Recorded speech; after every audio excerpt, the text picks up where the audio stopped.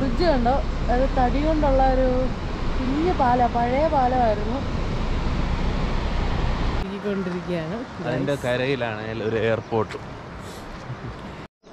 Hello അപ്പോൾ എല്ലാവർക്കും നമസ്കാരം. നമ്മളിപ്പം ബുന്ദറിലെ നമ്മുടെ റൂമിലാണുള്ളത്. അപ്പോൾ ഞാനിപ്പോൾ ബുന്ദർ ഇവിടെ ബുന്ദറിലെ റൂമിൽ ബാൽക്കണി നിൽക്കുകയാണ് അപ്പം നിങ്ങൾക്ക് ഇവിടെ നോക്കിയാൽ കാണാം. ഇവിടുത്തെ ഇതാണ് നമ്മുടെ ബാൽക്കണിയുടെ വ്യൂ എന്ന് പറയുന്നത്. ഇത് വീട്ടുടമസ്ഥന്റെ വീടാണ്. നമുക്ക് താഴെയാണ് പാർക്കിംഗ് ഒക്കെ വരുന്നത് അപ്പോൾ ഇതാണ് ഇവിടുത്തെ വ്യൂ ഇനി അടുക്കളയിലെ വ്യൂ കാണിച്ചു തരാം. റൂമൊക്കെ അത്യാവശ്യം അലങ്കോലമാണ്. ഇതാണ് നമ്മുടെ കിച്ചൺ ഒരു ഒരു സ്ലാബ് നമ്മുടെ സ്റ്റുഡിയോ പോലെയാണ് അപ്പോൾ അടുക്കളയിലെ ജനൽ തുറക്കുമ്പോൾ കാണുന്ന വ്യൂ ആണിത്. ഇവിടെ വുഡ് ഹൗസ് പോലെ തോന്നുന്ന ഒരു ഹൗസ് ഇവിടെ ഉണ്ട്. അപ്പോൾ ഇതാണ് ഇവിടുത്തെ വ്യൂ കഥ അടച്ചേക്കാം കാരണം ഭയങ്കര തണുപ്പാണ് രാവിലെ. അപ്പോൾ നമ്മുടെ രാവിലത്തെ പരിപാടി എന്ന് പറയുന്നത് നമുക്ക് നടക്കാൻ പോകാനുള്ള പരിപാടിയിലാണ്. നടക്കാൻ പോകണം അതുപോലെ തന്നെ ഒരാളിത് ഇവിടെ റെഡി ആയി കഴിഞ്ഞ് ഹലോ ഹലോ അപ്പൊ ഞങ്ങൾ നടക്കാൻ പോവാണ്. പക്ഷേ വണ്ടിയിലാണ് പോകുന്നത്. കാരണം ഭയങ്കര തണുപ്പാണ്. ഞങ്ങൾ അല്ലാതെ നിന്ന് നടക്കാൻ പോയ നോക്കി സ്പോർട്സ് ഡ്രസ് ആയിരുന്നു. പക്ഷെ വെളിയിൽ ഇറങ്ങിയപ്പോഴത്തേക്കും കിടുങ്ങിപ്പോയി. ഐസായി പോയി കൈയൊക്കെ വല്ലാതായി പോയി അപ്പൊ ഞങ്ങൾ തിരിച്ചു കയറി ജീൻസും പരിപാടിയൊക്കെ ഇട്ടിട്ട് ഞങ്ങൾ എന്തുവാ വണ്ടിയിൽ പോവാന്ന് വിചാരിച്ചു. വണ്ടിയിൽ പോയാലും നമുക്ക് വ്യൂസ് ഒക്കെ കണ്ടാൽ മതിയല്ലോ. അല്ലാതെ രാവിലെ ഇവിടെ നടത്തും ഭയങ്കര ബുദ്ധിമുട്ടാ അല്ലേ? അയ്യോ ഇവിടെ നടക്കത്തില്ല. ട്രാക്ക് ഒക്കെ ഇട്ട് മുട്ടൊന്നും ഇടണ്ട ഓടുവല്ലേ വേർക്കൊന്നൊക്കെ ഓർക്കും. ഒരു രക്ഷയില്ല? ഇറങ്ങിയപ്പോഴത്തേനും ഈ ട്രാക്ക് എല്ലാം കൂടെ അങ്ങ് കയറി അങ്ങ് തണുത്തു. അത് ആദ്യം തണുത്തു. ഡ്രസ്സൊക്കെ അങ്ങ് ഫുള്ള് തണുത്തു. നൈലോണിന്റെ സ്പോർട്സ് മെറ്റീരിയൽ അല്ലേ? അയ്യോ ഒരു രക്ഷയില്ല. ഞാൻ എന്നിട്ട് കണ്ടോ ജീൻസ് ഒക്കെ ഞാൻ എത്ര വർഷമായിട്ടിട്ടെന്ന് എനിക്ക് തന്നെ അറിയത്തില്ല. പെട്ടിക്കകത്തുനിന്ന് ഒരു ജീൻസ് പൊടി തട്ടിയെടുത്ത്. ജീൻസുകളൊന്നും ഉപയോഗിക്കാറില്ല. ഞാൻ. കൂടുതലും സാധാ പാന്റ് നോർമൽ പാന്റ് ഇപ്പം ഉപയോഗിക്കുന്നത്. കുറേ കാലമായി. ജീൻസ് ഒക്കെ ഇട്ട് ബുദ്ധിമുട്ടിയിരിക്കുകയാണ്. അപ്പൊ നമ്മൾ നടക്കാൻ ഉദ്ദേശിച്ച സ്ഥലത്തെത്തി അതായത് നമ്മുടെ വീട്ടിൽ നിന്ന് കുറച്ച് ഇപ്പുറം വന്നാൽ നമ്മൾ പറഞ്ഞായിരുന്നു ഇവിടെ റിവർ പൊക്കോണ്ടിരിക്കുകയാണ്. അപ്പൊ ബീച്ചിന്റെ കൈവഴിയായിട്ടുള്ള പാർവതിയാണ് ഇതിലേ കൂടെ പോകുന്നത്. അപ്പൊ ഇതിലേ കൂടെ ഒക്കെ നടക്കാതെ വിചാരിച്ചാ വന്നേ. അപ്പൊ ഈ തണുപ്പ് കാരണം നമുക്ക് നടക്കത്തില്ല.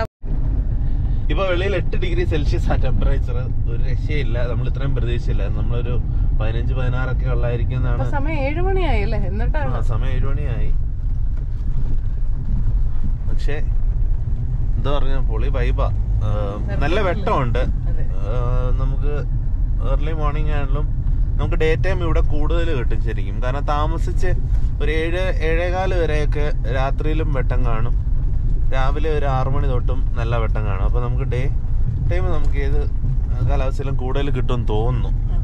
ഇവിടെയാണ് നമ്മുടെ റിസോർട്ട് ഞാൻ ആ കറക്റ്റ് സമയത്ത് എടുത്തില്ല. നമ്മുടെ റിവർ ഒഴുകുന്നതും നമ്മൾ നടക്കാന്നൊക്കെ വിചാരിച്ചതും ഒക്കെ ഒരു ഈ സ്ഥലത്താണ്. സാരമില്ല. അവിടെ പോകാൻ പറ്റും. അപ്പോൾ ഇതെന്റെ കഷ്ടിച്ച ഒരു കിലോമീറ്റർ പോലും ഇല്ലാത്ത സ്ഥലത്തായിട്ട് നമ്മൾ വണ്ടിയിൽ വന്നു. അതിന് കാരണം പറ്റൊന്നുമല്ല മുട്ട തണുപ്പാണ്.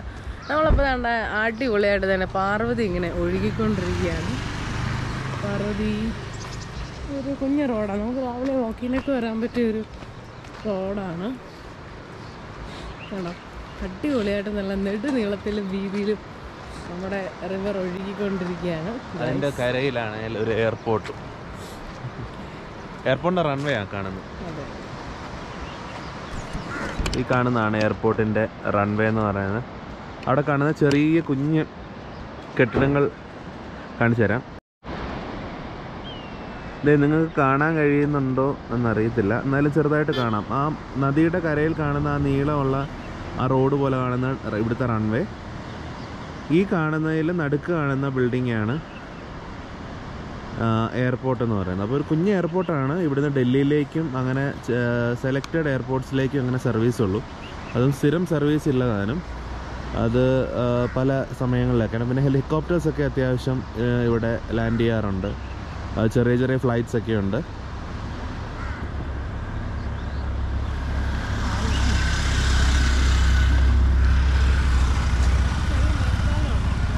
അപ്പോൾ നമ്മൾ ഈ കാണുന്ന വഴി ഇത് ബുന്ദർ ടൗണിലേക്കുള്ള വഴിയാണ്. അപ്പോൾ നമ്മൾ നേരെ ഇപ്പോൾ ബുന്ദർ ടൗൺ കാണാനുള്ള ഒരു പരിപാടിയിലാണ്. നടക്കാൻ പറ്റുമെന്ന് തോന്നുന്നില്ല അല്ലേ? ഭയങ്കര തണുപ്പാണ്.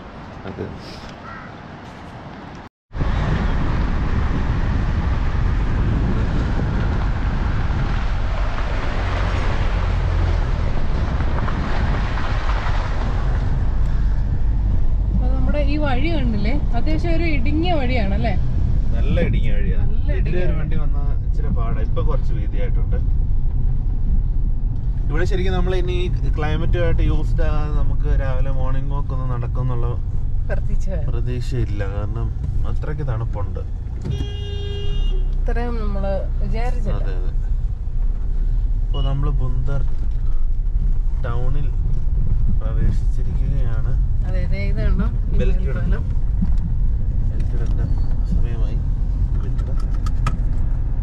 നമ്മുടെ പാർവതിയുടെ നടുക്കോടുള്ള ബ്രിഡ്ജാണ്.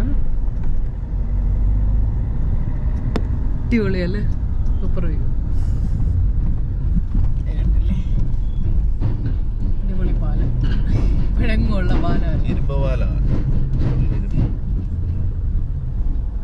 നമ്മൾ ബുന്ദർ ടൗണിൽ പ്രവേശിച്ചിരിക്കുകയാണ്. ഈ വരുന്ന സാധനം കണ്ടോ? അപ്പൊ ഇത് ഇവിടുത്തെ ഒരു പ്രത്യേകതയാണ്.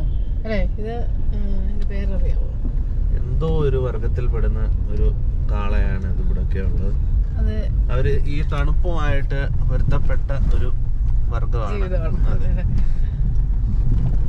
പിന്നെ ഇവിടെ നമുക്ക് ഇവിടുത്തെ തനത് ബ്രേക്ക്ഫാസ്റ്റ് കിട്ടുന്ന കടകൾ എന്നൊക്കെ പറഞ്ഞാൽ അവിടെയൊക്കെ കൂടുതലായിട്ടും Maggi noodles omelette bread. Bread bread കൊണ്ടുള്ള ബ്രെഡ് ഓംലെറ്റ് അങ്ങനെ എന്തെങ്കിലുമൊക്കെ സാധനങ്ങളായിരിക്കും. അല്ലാതെ നമ്മളുടെ രീതിയിലോ നോർത്ത് ഇന്ത്യൻ സ്റ്റൈലിലോ കാണുന്ന പോലുള്ള അങ്ങനത്തെ ഒരു ഹെവി റൊട്ടി ഒരു ഇതിലേക്ക് ഇവിടെ ഉള്ളവർ അങ്ങനെ ഇല്ല പിന്നെ ഇവിടെ ഉള്ള ഇവിടെ ഷോപ്സ് ഉണ്ട് ഇപ്പം ടൂറിസം ഒക്കെ ബൂമായ സ്ഥിതിക്ക് ഇവിടെ ഇവർ റൊട്ടി കഴിക്കത്തില്ലെന്നല്ല. പക്ഷെ ബ്രേക്ക്ഫാസ്റ്റ് ഒക്കെ ഇങ്ങനെ പ്രിഫർ ചെയ്യുന്നില്ല വളരെ ലൈറ്റ് ആയിട്ടായിരിക്കും അപ്പൊ കണ്ടില്ലേ നമ്മൾ ഈ സൈഡിൽ എത്തിയപ്പോഴത്തേക്കും നമുക്ക് വേണ്ട ഇങ്ങനൊരു മലയുടെ വ്യൂ ആ കാണാൻ പറ്റുന്നത് കാരണം നമ്മൾ ആ, മലയുടെ എന്താണ് താഴ്വാരത്തിലായിരുന്നു നമ്മൾ അത്രയും നേരം ഉണ്ടായിരുന്നത് അപ്പൊ ഈ മലയുടെ ഇടുക്കിലാണ് കറക്റ്റ് മലയിടുക്കിലാണ് ഈ ടൗൺ ഇരിക്കുന്നതെന്നാണ് പറയാം പക്ഷെ അത്യാവശ്യം നല്ല ഒരു ടൗൺ തന്നെയാണ് ഇതെന്ന് വേണം പറയാൻ. കാരണം എല്ലാം എല്ലാം ഉണ്ട്. എന്തും കിട്ടും. നമ്മൾ വിചാരിക്കുന്ന പോലെ വെറും ഗ്രാമവാസീസ് ഒന്നും അല്ല ഇവർ അത്യാവശ്യം കാര്യങ്ങളെല്ലാം എക്സ്പോഷർ ഉള്ള അതുപോലെ ഞങ്ങൾ ഇന്നലെ ഒരു ക്യാമറ എടുക്കാതെ ഒരു വലിയ ഒരു കുന്നിന്റെ ആ വലിയൊരു കുന്നിന്റെ മണ്ടയിൽ ഏഹ്, പോയി. അപ്പം അവിടെ ചെന്നിട്ടൊക്കെ ആണെങ്കിലും അവിടെയൊക്കെയാണല്ലോ ആളുകൾക്ക് അത്യാവശ്യം വേണ്ട സൗകര്യങ്ങളെല്ലാം സർക്കാർ ചെയ്തിട്ടുണ്ട്. അപ്പൊ നമ്മളൊരു സർക്കാരിനെ ഒന്നും സപ്പോർട്ട് ചെയ്ത് സംസാരിക്കുക അങ്ങനൊന്നും അല്ല അപ്പം അവിടെ വേണ്ടത്ര പെനിട്രേഷൻ ഡീപ്പായിട്ട് സർക്കാരിന്റെ കൈകടത്തിലുണ്ട് ഗ്രാമങ്ങളിലേക്ക് നമുക്ക് അവിടെ ചെല്ലുമ്പോൾ മനസ്സിലാവും. അത്രയും ഗ്രാം സഡക് യോജനയുടെ റോഡ് ഇങ്ങനെ റോഡൊക്കെ അങ്ങ് വരെ റബ്ബറൈസ്ഡ് ആണ് മലയുടെ മുകളിൽ വരെ. അതായത് ചെറിയൊരു ഗ്രാമം അറുന്നൂറ് പോപ്പുലേഷൻ ഉള്ള ഒരു ഗ്രാമത്തിലേക്ക് അറുന്നൂറ് പോപ്പുലേഷൻ അവിടെ എഴുതി വെച്ചിട്ടുണ്ട്. അപ്പൊ ഞങ്ങൾ ഇന്നലെ ആ മലയിലേക്ക് പോകുന്ന വഴിക്കിടയിൽ ഒരു കടയിലൊക്കെ നിർത്തിയായിരുന്നു. അതായത് മെയിൻ റോഡിൽ നിന്ന് അത്യാവശ്യം പത്ത് പതിനഞ്ച് കിലോമീറ്റർ മേളിലേക്ക് വലിയൊരു കുന്നിന്റെ മുകളിലാണ് സംഭവം. ദിയാർ എന്ന സ്ഥലത്തിന്റെ പേര്. അപ്പോൾ പോകുന്ന വഴിക്ക് ഒരു കട നിർത്തിയപ്പോഴത്തേന് അവർ പറയാണ് ഇവിടേക്ക് ഇപ്പോൾ ഇഷ്ടംപോലെ മലയാളികൾ വരുന്നുണ്ട്. അതുകൊണ്ട് ഞങ്ങൾക്ക് മലയാളികളെ അറിയാം. ഒരുപാട് പേര് ലോക്ക്ഡൗൺ ആയ പിന്നെ ഇവിടെ സ്ഥിരതാമസമാക്കിയവരൊക്കെ ഉണ്ട് അപ്പൊ നമ്മൾ ഓർത്ത് നമ്മൾ മലയാളിയെ അവർക്ക് കാണുമ്പോൾ അത്ഭുതമായിരിക്കും. നല്ല അവർ മലയാളികളെ മാത്രമേ അവർ കാണുന്നുള്ളൂ. അവരുടെ കൂട്ടത്തിലുള്ള ആൾക്കാരെ കേട്ട് കഴിഞ്ഞാൽ പിന്നെ കാണുന്ന മൊത്തം മലയാളികളെ. അവർ അതുകൊണ്ട് അവർക്ക് മലയാളികൾ ഒരു വിഷയമല്ലാതായി മാറി. പിന്നെ മലയാളികളോട് ഒരു പ്രത്യേക ഒരു സ്നേഹമൊക്കെ അവർക്കുണ്ട്. പിന്നെ നമ്മൾ അങ്ങേയറ്റത്ത്. നിങ്ങൾ ഞങ്ങൾ അങ്ങേയറ്റത്ത് നിങ്ങൾ അങ്ങേയറ്റത്തും അല്ലേ ആ രീതിയിലൊക്കെ അവർ പറയുന്നത് സാധാരണ ഡൽഹിയിലൊക്കെ ഇപ്പം എവിടെയെങ്കിലും മെയിൻ മെയിൻ ഏരിയ അല്ലാത്തടത്ത് ഞങ്ങൾ ഒരിക്കൽ ഒരു ജോബിന്റെ കാര്യത്തിന് പോയപ്പം അവിടെ ഇരുന്ന് സംസാരിച്ചു. അപ്പോൾ ഒരു പുള്ളിക്കാരി ഉത്തർപ്രദേശിലുള്ള ഒരു പുള്ളിക്കാരി നിങ്ങൾ ഇത് ഏത് ഭാഷയാണ് സംസാരിക്കുന്നതെന്ന് ചോദിച്ചു. ഞങ്ങൾ നിങ്ങൾ കേരളത്തിൽ നിന്നാണ് ഇങ്ങനെ എന്താണ് സൗത്തിൽ നിന്നാണെന്നൊക്കെ പുള്ളിക്കാരിയെ പറഞ്ഞു മനസ്സിലാക്കി. അപ്പം നമുക്ക് ആ പാടൊന്നും ഇവിടെ വന്നാൽ ഇല്ല. കാരണം ഇവിടെ അത്രയും മലയാളികളുടെ ഒഴുക്കാണ് ഇങ്ങോട്ടും. ഇവിടെ റൈഡേഴ്സ് ആയിട്ടും അല്ലെങ്കിൽ വർക്ക് ഫ്രം ഹോം ആയ പിന്നെ ബാംഗ്ലൂരും ഡൽഹിയിലും ഒക്കെ ഇരിക്കുന്ന ആൾക്കാർ കംപ്ലീറ്റ് ഇങ്ങോട്ട് പോരുന്നു. ഇവിടെ അത്യാവശ്യം നല്ല മലയാളി പോപ്പുലേഷൻ ഉണ്ട്. നമ്മളിപ്പോ ഒരു മലബാർ ഹോട്ടൽ വരെ കണ്ടല്ലേ?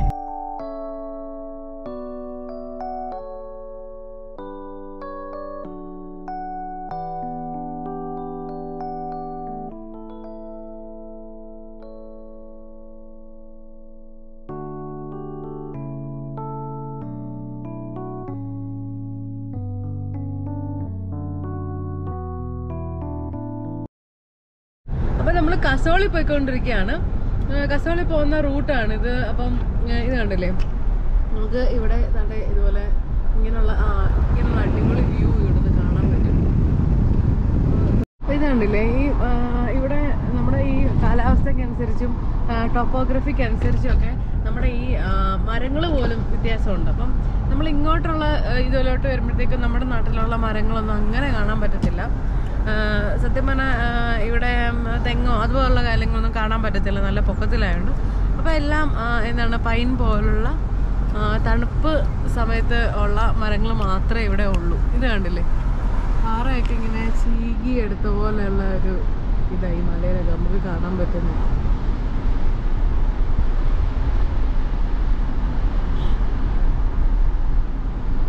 നല്ല ഭംഗിയുള്ളൊരു വ്യൂ ആയിരുന്നു അപ്പൊ നമ്മുടെ കുട്ടിയുടെ ബ്രേക്ക്ഫാസ്റ്റ് കഴിച്ചുകൊണ്ടിരിക്കുകയാണ് അല്ലേ. എന്ത് ബ്രേക്ക്ഫാസ്റ്റ് കഴിക്കുന്നത് എന്ത് തരത്തിലെ ബ്രേക്ക്ഫാസ്റ്റ് താങ്കൾ കഴിക്കുന്നത് ഇവിടെ നല്ല ബണ്ണ് കിട്ടും നല്ല മുരിഞ്ഞ ബണ്ണ്. അത് ഈ നമ്മുടെ നാട്ടിൽ പൊറോട്ട മുരിഞ്ഞ പൊറോട്ട കഴിക്കുന്ന സുഖമാണ്. ഈ മുരിഞ്ഞ ബണ്ണ് കഴിക്കുന്നത്. അതെ. അപ്പൊ നമ്മൾ ബ്രേക്ക്ഫാസ്റ്റ് കൂടെ എടുത്തിട്ടുണ്ടായിരുന്നു. കാരണം നമ്മൾ പുറത്തുനിന്ന് കഴിച്ചാൽ എക്സൈറ്റഡ് ആയിട്ടൊന്നുമില്ല. ഇതൊക്കെ തന്നെയാണ്. അപ്പം നമ്മുടെ കയ്യിലുള്ള സാധനമൊക്കെ തന്നെ. ഇപ്പം എവിടെ പോയാലും കുറച്ച് മാഗിയും കുറച്ച് ബണ്ണും ഒക്കെയാണ് കഴിക്കുന്നത് അപ്പം നമ്മുടെ വീട്ടിലുണ്ടായിരുന്നു അപ്പോൾ നമ്മൾ അതങ്ങ് എടുത്തു കയ്യിൽ അല്ലേ? അപ്പം സെയിം സാധനമാണ് നമ്മൾ അങ്ങ് എടുത്തു. ഇപ്പം കഴിച്ചുകൊണ്ടിരിക്കാൻ കണ്ടില്ല? അടിപൊളി സംഭവമാണ്. എനിക്ക് എന്താ പറയണ്ടതെന്ന് അറിയത്തില്ല. അത്രയ്ക്ക് രസമുണ്ട് കാണാനായിട്ട് ഓരോരുത്തർക്കും ഓരോ view ആ, ഓരോ തരത്തിലാണ് ഇത് ഓരോന്ന്. അയ്യോ. ആ, ഇപ്പൊ കാണാം.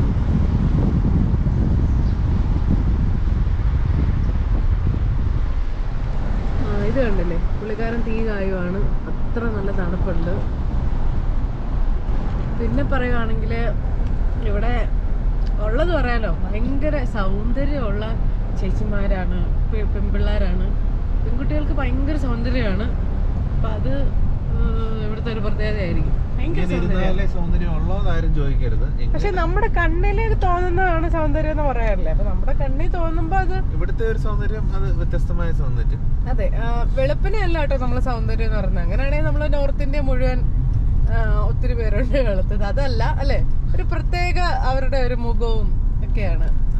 നമ്മൾ ഈ ചൈന ഒന്നും അല്ല ചൈനീസ് കൊറിയൻ അതെല്ലാം കൂടെ ചേരുമ്പോൾ ഉള്ളൊരു പ്രത്യേകത അവരുടെ മുഖത്തുണ്ട്. നമ്മൾ കളറിനെ ഒന്നും അല്ല പറയുന്നത്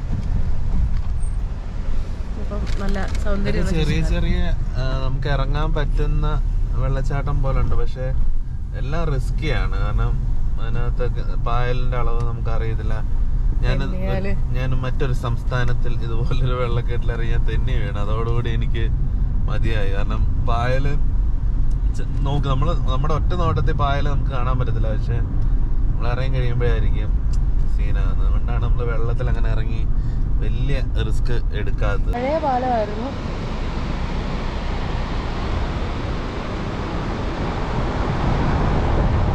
അയ്യോ, nice.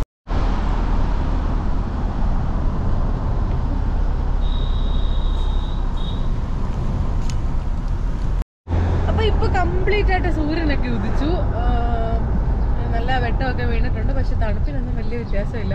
പിന്നെ നമ്മൾ പതുക്കെ പതുക്കെ ഇതിനകത്ത് അങ്ങ് അഡാപ്റ്റ് ആവുന്നുണ്ട്. അപ്പം അതുകൊണ്ട് വലിയ കുഴപ്പമില്ല. കണ്ടോ രാവിലെ റൈഡേഴ്സ് ഒക്കെ ഉണ്ട്. ഇവിടെ എല്ലാവരും രാവിലെ എണീക്കും തണുപ്പാണെങ്കിലും. കാരണം വെറുതെ വ്യൂ നഷ്ടപ്പെടുത്തണ്ടല്ലോ എന്ന് ഓർത്തിട്ടല്ലേ? പകൽ സമയത്ത് നല്ല ചൂടാണ്. സമ്മർ ആയതുകൊണ്ട്. അപ്പം അത് ബേസ് ക്യാമ്പിലാണ് താഴെയാണ്. കൂടുതലും ചൂട്. അതായത് ബുന്ദർ പോലുള്ള ബുന്ദറൊക്കെ നല്ല താഴ്ചയുള്ള സ്ഥലം. കസോളൊക്കെ ആകുമ്പോൾ ഹൈറ്റ് വരും. പക്ഷെ മലയുടെ മുകളിലേക്ക് പോകുമ്പം വെയിലുണ്ടെങ്കിലും തണുപ്പാണ്. പക്ഷെ താഴേക്ക് വരുമ്പം അത്യാവശ്യം നല്ല ചൂടുണ്ട്. നമ്മൾ വേർക്കും തക്ക വിധത്തിലുള്ള ചൂടുണ്ട്. ഒരു ഇരുപത്തഞ്ച് ഇരുപത്തെട്ട് ഡിഗ്രി സെൽഷ്യസ് ഇരുപത്തൊമ്പത് വരെ കഴിഞ്ഞ ദിവസം മുപ്പത് വരെയൊക്കെ വന്നിട്ടുണ്ടായിരുന്നു. പക്ഷെ മുകളിലേക്ക് പോകുമ്പോൾ തണുപ്പ് ഉണ്ട്. വെയിലിന് കാഠിന്യം കുറയും നല്ല ബ്രൈറ്റ് ആണ് പക്ഷെ ചൂടില്ല. അത് ടെമ്പറേച്ചർ കണക്ക് പറയുന്നത് എത്ര അടി- അടിക്ക്? ആയിരം അടിക്ക് ആറ് ഡിഗ്രി സെൽഷ്യസ് കുറയുന്നില്ല. അത്. ആയിരം അടി ആയിരം മീറ്റർ ഉയരം പോയി കഴിഞ്ഞാൽ ആയിരം മീറ്ററിന് മൈനസ് സിക്സ് വെച്ച് കുറയും. ടെമ്പറേച്ചർ കുറയും. അങ്ങനെ കാൽക്കുലേഷൻ പറയുന്നത് അപ്പം അത് നമുക്ക് ഫീൽ ചെയ്യാൻ പറ്റും. മലയുടെ മുകളിൽ ചെന്ന് കഴിഞ്ഞാൽ കറക്റ്റായിട്ട് ആ, അപ്പൊ നമ്മൾ ഇന്നലെ പോയ കാര്യം നേരത്തെ അമീർ സൂചിപ്പിച്ചിട്ടുണ്ടായിരുന്നു. അപ്പൊ ഏ, വലിയ നഷ്ടമായി പോയല്ലേ ക്യാമറയുടെ ക്യാമറ അടുത്ത ദിവസം പോവാം. അടുത്ത ദിവസം പോവാം. നമ്മുടെ വീടിന്റെ മുകളിലോട്ടുള്ള ഏരിയ ആണ് നമുക്ക് പോകാൻ എളുപ്പമാണ്. പക്ഷെ അതൊരു ഭയങ്കര കാഴ്ചയായിരുന്നു അല്ലേ? നമ്മൾ പൊക്കത്തിലോട്ട് കയറുന്നവർ നമുക്ക് ശരിക്കുള്ള മഞ്ഞുമലകളൊക്കെ വിസിബിൾ ആയിട്ട് വരുന്നുണ്ടായിരുന്നു. നമ്മൾ ഷോളിംഗ് വാലിയിലൊക്കെ പോയപ്പോൾ കണ്ട അതേ സംഭവം തന്നെ അത്ര അതുപോലെ ഹൈറ്റ് ആയിരുന്നു അത്. നമ്മൾ വിചാരിച്ചില്ല അത്രയും ഹൈറ്റ് കയറുമെന്ന് അപ്പം എന്താ നമ്മളിങ്ങനെ കണ്ടില്ലേ? അടിപൊളിയായിട്ട് ഇങ്ങനെ പൊക്കോണ്ടിരിക്കുകയാണ്. ഏത് വ്യൂ എടുക്കണമെന്ന് അറിയാൻ പറ്റാത്ത രീതിയിൽ പൊക്കോണ്ടിരിക്കുകയാണ്. അപ്പം രാവിലെ നമ്മുടെ മോർണിംഗ് വാക്കിൽ തുടങ്ങിയ ഒരു വ്ളോഗ് കുറേ സമയമായി. അത് നമുക്ക് കട്ട് ചെയ്ത് കട്ട് ചെയ്ത് ഇടാൻ പറ്റത്തില്ല. കാരണം എല്ലാം പ്രഷ്യസ് ആയിട്ടുള്ള സാധനങ്ങളാണ്. അതുകൊണ്ട് അതെ എല്ലാം വ്യത്യസ്തമായ കാഴ്ചകളാണ്. അതുകൊണ്ട് ഏകദേശം ഈ ഒരു വ്ളോഗ് അല്ലെ ഒരുപാട് കാഴ്ചകളാണ് വരുന്നത്. ഒന്നോ രണ്ടോ കാഴ്ചകളല്ല ഒരുപാടാണ് കാഴ്ചകൾ. അപ്പം നമുക്ക് വീഡിയോ കട്ട് ചെയ്ത് നമുക്ക് വൈൻഡ് അപ്പ് ചെയ്യേണ്ടതായിട്ടുള്ള പറ്റും കാരണം നിങ്ങൾ ഒരു പത്ത് പതിനഞ്ച് മിനിറ്റ് കൂടുതൽ നിങ്ങൾ ക്ഷമ കാണിച്ച് നിങ്ങൾ വീഡിയോ കാണത്തില്ലെന്ന് നമുക്കറിയാം. അപ്പം നമ്മൾ അടുത്ത എപ്പിസോഡുകളിലായിട്ട് വരുന്നതായിരിക്കും. ബുദ്ധി. അപ്പൊ നമുക്ക് ഇന്നത്തെ എപ്പിസോഡ് ഇവിടെ ചെയ്യാം. അപ്പം അടുത്ത എപ്പിസോഡിൽ നമ്മൾ എങ്ങോട്ടായിരുന്നു പോകുന്നത് നമ്മൾ അടുത്ത എപ്പിസോഡിലായിരിക്കും നിങ്ങൾ കസോൾ കാണാൻ പോകുന്ന കംപ്ലീറ്റ് ആയിട്ട്. അപ്പൊ കസോളിലേക്കുള്ള യാത്രയിലാണ് നമ്മൾ. കസോളിന് വേണ്ടിയിട്ട് എല്ലാവരും വെയിറ്റ് ചെയ്തിരിക്കുക. അപ്പൊ ഇനിയും നമ്മുടെ ചാനൽ സബ്സ്ക്രൈബ് ചെയ്തിട്ടില്ലെങ്കിൽ സബ്സ്ക്രൈബ് ചെയ്യണം. കാരണം നമ്മൾ ഞാൻ കേരളത്തിൽ നിന്ന് അങ്ങ് ഹിമാലയം വരെ എത്തിയിരിക്കുകയാണ്. നിങ്ങൾക്ക് കാഴ്ചകളൊക്കെ കാണിച്ചു തരാൻ വേണ്ടിട്ട് ഓക്കെ അപ്പോൾ സബ്സ്ക്രൈബ് ചെയ്യാത്തവർ സബ്സ്ക്രൈബ് ചെയ്യുക. അപ്പോൾ ഇനിയും കാണുന്നവരേക്കും. Bye from Kottayam